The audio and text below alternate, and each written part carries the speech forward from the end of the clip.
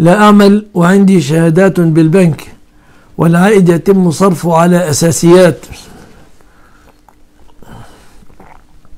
هل على أساس المال زكاة؟ وكيف تحسب؟ لا يجوز لك ذلك. لا يجوز لك أن تأخذ الربا وتتعيش به أو تضعه في أساسات. وأصل رأس المال هو الذي يزكى لأن ما وراء ذلك فهو ربا.